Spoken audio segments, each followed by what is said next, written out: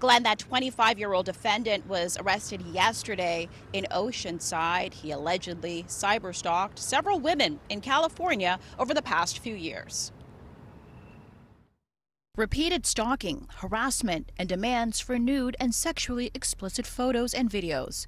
That's what's outlined in this criminal complaint. Startling allegations involving 25 year old Jehoah Miguel Shavari, who also goes by the name of Michael Frito, an active duty member of the U.S. Marine Corps who federal prosecutors allege from 2019 to 2021 used an online persona and numerous online accounts to target women who refused to cave to his sexual demands. What authorities described as a sextortion campaign. KTLA legal expert Alison Triessl has represented victims of sextortion in the past. She commented on the serious nature of these allegations. Cyber stalking is as serious as a criminal allegation as you can imagine.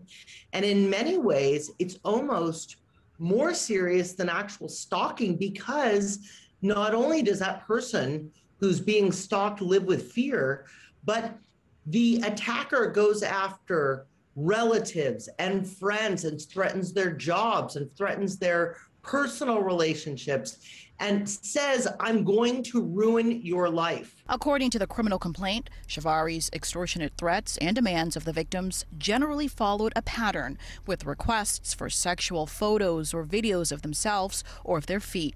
He allegedly threatened to publish sexual images of these victims online or on popular porn sites, even to their friends, family members, or employers if they refused to comply. There are over 3.5 million people a year who claim that they have been cyber stalked.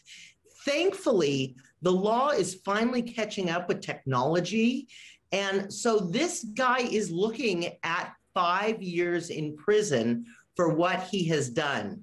Many offenders believe that they can get away with it because it's done online and it's faceless. But the law is finally saying, no, this is real and you're going to be prosecuted.